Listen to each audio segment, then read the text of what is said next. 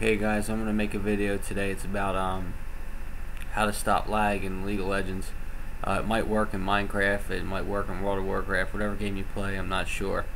Um, sorry about the picture here. I'm kind of trying to do this at night. Everybody's sleeping, so I'm gonna explain it to you. There's two real easy steps to this, and it should help you out a lot.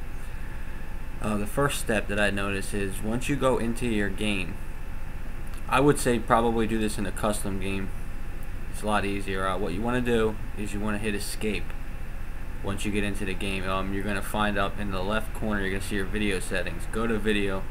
Make sure the sync is turned off. You do not want that box checked for starters. Um, I like to run all my um, stuff down at very low. It does not make the game look at that much different. I still enjoy it. It plays great. Uh, I usually get around 120 FPS constant, so I hardly ever lag. Um, the server does cause lag issues though sometimes. Um, but before I did this, I was actually most of the time running about 7 FPS. It was like every time I got engaged in a team fight, I really couldn't do much. You know, I, I would stand there, and then the next thing I know, I'd be dead. Um, so the first thing you want to do, like I said, is you want to go into your game before you even step off the platform. Hit escape go to your video settings, turn them down low, make sure the sync's off, hit OK. Uh, you're going to get about a one minute delay, so don't panic. Um, after that minute delay, um, depending what kind of computer you use, I don't use a Mac, so I don't really know how it works on a Mac, but as far as my computer, I hit Control Shift Escape and it brings me back to my Windows tab. Once I'm in there, I open up my task manager, Control Alt Delete, Control Shift Escape, however you got to do it. Once you're inside your task manager, what you're going to notice is there's a thing called processes. You want to click into the processes and you're going to see the League of Legends client and you're going to see a thing called League of Legends.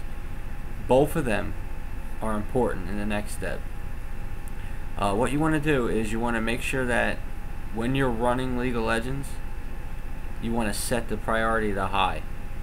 So what you're going to do is you're going to go to it, you're going to like I think it's a right click and it's going to say set priority. Click high, okay, done. Go back into your game and you're going to notice a big change. Um,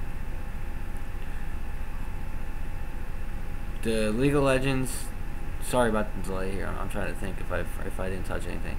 Um, the League of Legends one is a um, it's just kind of for like the load on screen. Um, a lot of times too, it doesn't make any sense, but when you log on, you can disable the music and disable like the video feature and stuff. That actually helps too, believe it or not.